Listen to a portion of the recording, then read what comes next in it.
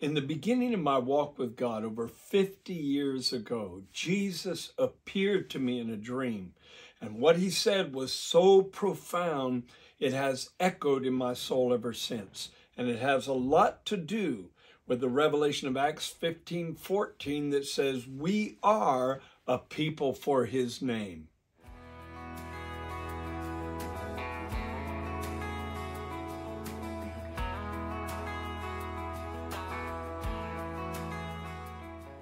As I mentioned at the beginning of this podcast, over 50 years ago, I had a dream, a very profound dream, where Jesus came to me and he was weeping. I can't tell you what it felt like. It just gripped my soul. And he said a very simple statement, but it was not simple in meaning. He said, You know that I am the everlasting Father but there are many others who don't. And then he disappeared. It rang in my soul for days. You know I am the everlasting Father, but there are many others who don't. And I realize this world is teeming with billions of people that are oblivious to the fact that God visited the earth in the form of his son and that he came to reveal the way back to heaven, and it's our charge to represent him in this world. And that's why Acts 15 14 declares that we are a people for his name. And we're going to unpack all of that on this episode of Discover Your Spiritual Identity. First, let me talk about the dream a little bit more. Jesus said, You know I am the everlasting Father. Well, where does that come from? Is there something in Scripture that reveals that as truth? Absolutely. It's the prophecy of Isaiah chapter 9, verse 6, where in advance the prophet revealed the Messiah to come and said, Unto us a child is born, unto us a son is given. Notice the child was born, but the son was given because the Son has existed eternally, eternally into the past, eternally into the future. So the Son was given, but the child was born. He had never come in the form of a child. So let me go back. Isaiah 9 6.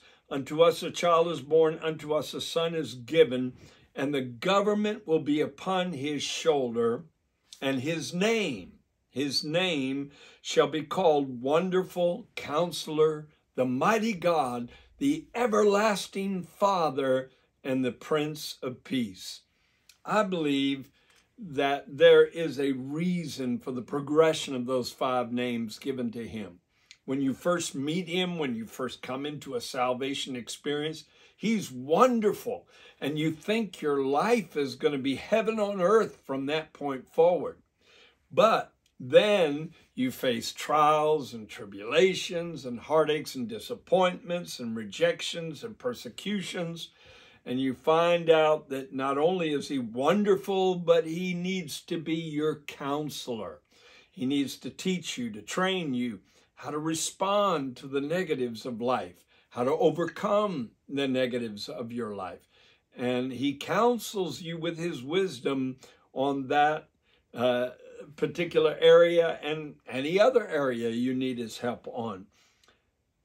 Then, once he solves these problems, once he provides solutions to you in areas that you need his assistance, then you realize all the more he's not just a teacher, he's not just a prophet, he is the mighty God. He is the mighty God in human form walking on the earth. And when you realize his deity, his divinity, when you realize he meant what he said when he declared, He who has seen me has seen my Father. He said, I and my Father are one. Then he's lifted up a little higher, even in your understanding and the revelation of his identity and you realize he is the everlasting Father, the image of the invisible God. Hebrews chapter 1, verse 3 says that he was the brightness of the Father's glory and the express image of his person. the express image. That's from the Greek word character, which we get our word character from. And so to call Jesus the express image of the Father was a way of saying he was the character of the Father expressed in this world. How amazing is that? If you want to see the love of God, look at the life of Jesus. If you want to understand the wisdom of God, listen to the teaching of Jesus. If you want to embrace the knowledge of God, then embrace the parables that Jesus spoke when he was on the earth. If you want to see the joy of God or the peace of God, see them demonstrated in the life of Jesus because he was the express image of the Father's person. How amazing is that? He was God manifested in the flesh. We believe in the triune God, that the Godhead is made up of the Father, the Son, and the Holy Spirit. And there's interpersonal relationship between the Father, the Son, and the Holy Spirit. And yet these three are one God. No wonder Paul said it is a great mystery. Well, let's go to Acts chapter 15 because this is where we find the title for God's people that is the object of our attention on this podcast. It was also the thing we taught on last week, and it will be continued into the next program as well. But this was the first apostolic council or the first meeting of the apostles that is recorded in the book of Acts, where they deal with certain church issues. And one of the main issues they had to deal with was the fact that so many Gentiles were being converted. And some of the Pharisees, who were now Messianic believers, felt that all these Gentiles had to be circumcised and had to keep the law. And I may deal with that in greater depth in another podcast. But anyway, they had a discussion on that issue because they felt it was absolutely essential that the Gentiles embrace all the Old Testament as well as coming into the revelation of the Messiah and function according to the Torah, the law. And listen to what happened. Well, first of all, Peter rose up and talked about how God had sent him to the household of Cornelius and how uh, that God had, and this is quoting from verse 9 of Acts 15, made no distinction, Peter said, between us and them, purifying their hearts by faith. And so Jesus revealed himself to them, the power of the Holy Spirit entered them. They were all filled with the Holy Spirit, began to speak in tongues without adhering to certain aspects of the Torah, like circumcision. Their hearts were purified by faith. And so Peter said, Now therefore, why do you test God? By putting a yoke on the neck of the disciples, which neither our fathers nor we were able to bear. But we believe that through the grace of our Lord Jesus Christ, we shall be saved in the same manner as they. Then all the multitude kept silent. They were really pondering this, pondering how to balance out the old covenant and the new covenant and fuse them together harmoniously and yet intelligently.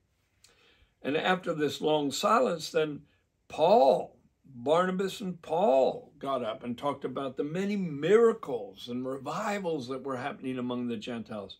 And so James, that was apparently the head of the church in Jerusalem, said, Men and brethren, listen to me. And this is when a decision is being made. Simon, which was another name for Peter, has declared how God at the first visited the Gentiles to take out of them a people for his name. There, the title is that rests upon all the new covenant people of God. All those who have been born again, washed in the blood, are referred to as a people for his name. And then they went on to resolve the issue they were dealing with. But the main focus I want us to take is on that particular title, A People for His Name. Five words that rest upon us. What does it mean to fulfill that call, to fill that role? Well, I believe number one, it means we exist for the glory of His name. When people look at our lives and see the transformation that's taken place, then his name should get glory. We certainly should not get glory because any goodness in us is not because of our willpower or our theological prowess. It's not because of what we've done or what we understand or who we are. It's because his name, through faith in his name, has made us whole. Just like the man at the gate, beautiful. His name, through faith in his name, made that man whole physically. Well, it's made us whole mentally and emotionally as well. Number two, if we are a people for his name, we exist for the revelation of his name. It is our calling to let people know what the name of Jesus is all about and how powerful that name is. Well, just the revelation of his name in Hebrew, Yeshua, means salvation. So when you call on the name of Jesus, his very name embodies what he does. He brings salvation into your life. And the word salvation means deliverance, and it means deliverance from all the arch enemies of the human race, deliverance from sin, deliverance from satanic control and satanic agendas against us, deliverance from the lower nature, deliverance from the curse, deliverance from death, deliverance from the grave, deliverance from hell, deliverance from all the battles of life, mentally, emotionally, and spiritually. Just calling on the name Jesus embodies all the deliverance power that you will need to overcome in all of those areas. I will never forget one night, and this is almost this is almost too heavy for some people to believe, but I was there. I experienced it. I cannot deny it. I was going over Soco Mountain in western North Carolina, driving on my way to a revival. It was the middle of winter. It had snowed, pretty heavy snow, I guess three or four inches. And apparently, the county on the west side of the mountain was better at clearing the snow off of the road than the county on the east side, and the county's changed at the peak of the mountain. Well, I'm coming up one side of the mountain, and we're on pretty good roads, so I'm moving at a good clip. And then I hit the top of the mountain and hit ice. The whole road is covered with ice. We started sliding broadside to this rail, and I surely would have flipped over the rail, and my van would have rolled down the mountainside and probably would have been the end of my life.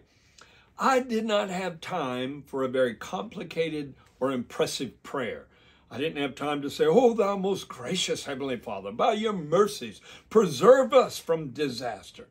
Or, of course, I'm saying that tongue in cheek. I don't necessarily pray with that kind of religious sound in my voice. All I had time for was to shout one name Jesus. And I don't care what the skeptics say.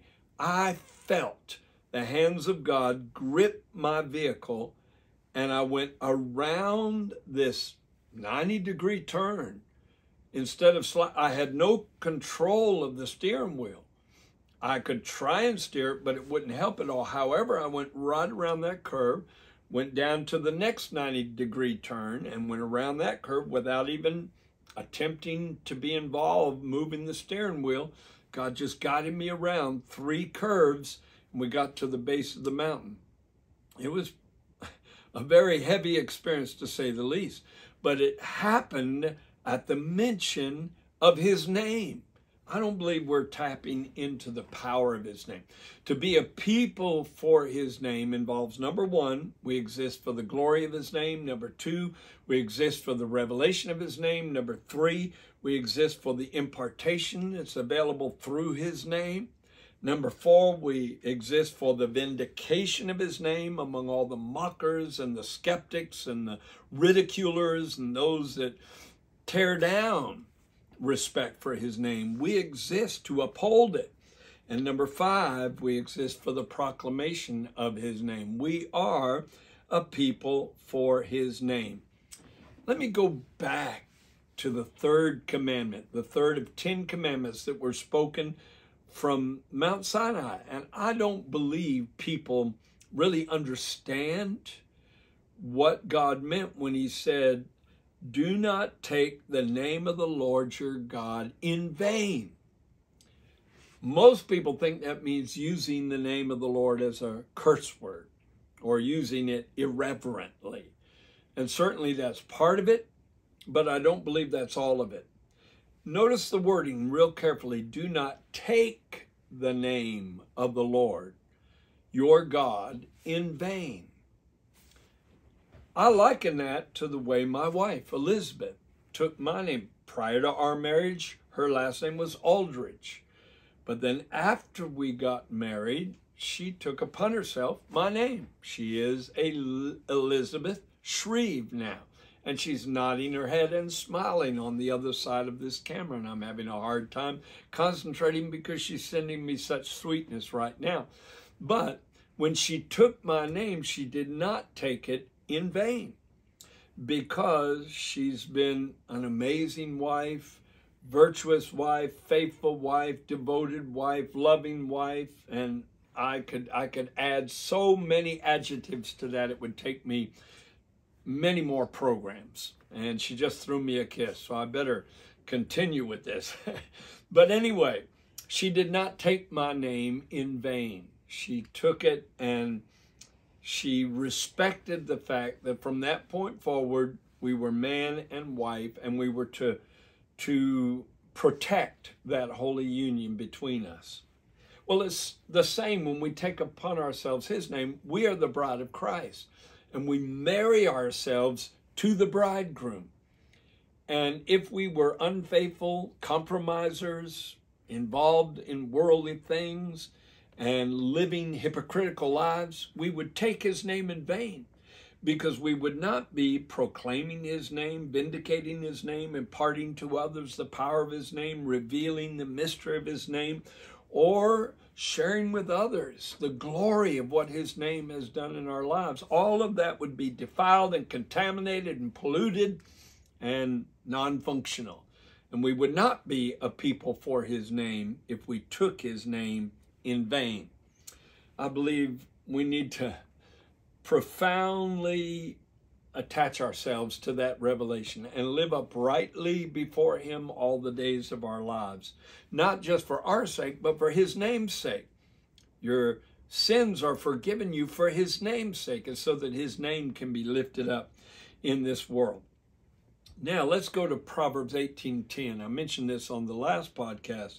The name of the Lord is a strong tower, and the righteous run into it, and they are safe. I want you to notice that a tower normally is made of many blocks laid one on top of the other and fused together with mortar in order to erect this edifice, which is usually a place of defense or a place of protection. A tower is a place of preservation, a place to store valuables, it is a place of defense. And the name of the Lord is a strong tower, and we are the valuables that are being preserved by this place of defense, which is the revelation of his name. How powerful is that? And so we need to understand that his name is a multifaceted name, just like there are many blocks laid one on top of the other in order to erect a tower. So God has hundreds of names and titles fused together into one name. See, my name if I were to use the word reverend, I never use it. Uh, I'm very reluctant to use it except when I have to legalistically, because the only time you find the word reverend in the Bible is in reference to God.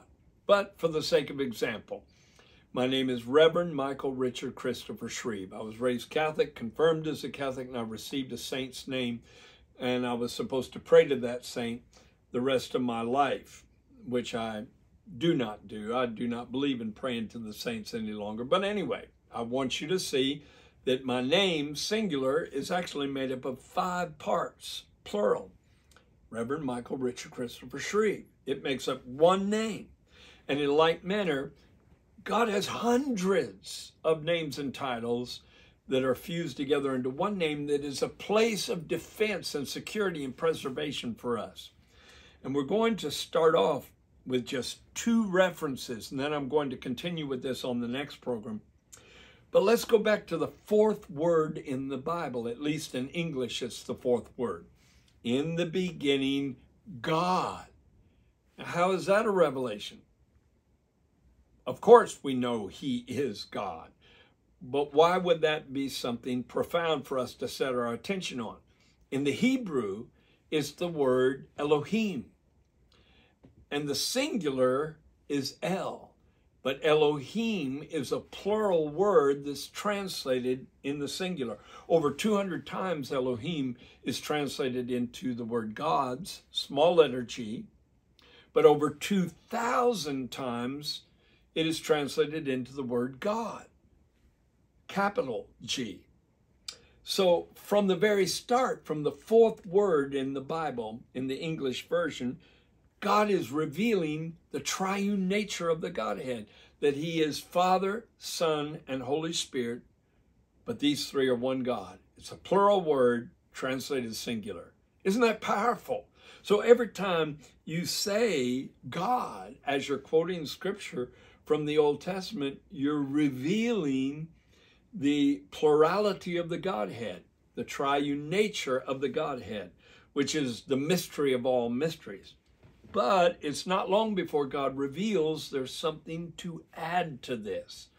In Genesis chapter 2, verses 7 through 9, it talks about the creation of Adam, and it says, The Lord God formed man of the dust of the ground and breathed into his nostrils the breath of life, and man became a living soul. Some translations say a living being the Lord God. So now a name is added. It's not just God, it's not just Elohim, but it's the Lord God. And the word translated Lord there is the tetragrammaton. It's the four letter name for God in Hebrew, transliterated into the English alphabet is YHVH or YHWH. In Hebrew, it's Yad He Vav He. And that's translated Lord. And so now God is personal in a form in the garden, shaping a human being out of the dust. That's God